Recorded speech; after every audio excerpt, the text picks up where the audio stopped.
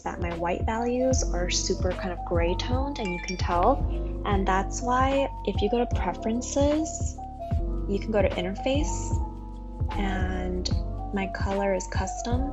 You can just select custom color and then just select like the super, super white.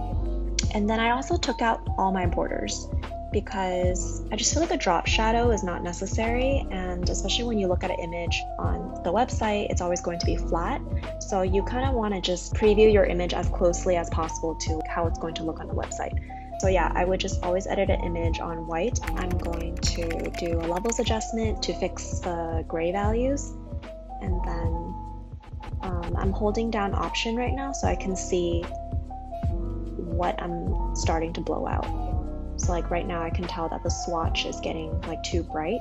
Sometimes I like to do it just up until like I like start blowing it out, you know? And then you can always just fade it back to like a level that looks right to you.